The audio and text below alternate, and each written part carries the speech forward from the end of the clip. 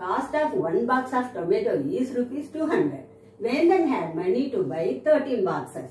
If the cost of the box is increased to rupees 260, then how many boxes will he buy with the same amount? The cost of one box is equal to rupees 200. Increased cost of one box is equal to rupees 260. X be the number of boxes bought by Vendan. As cost of boxes increases, the number of boxes decreases. This is inverse proportion.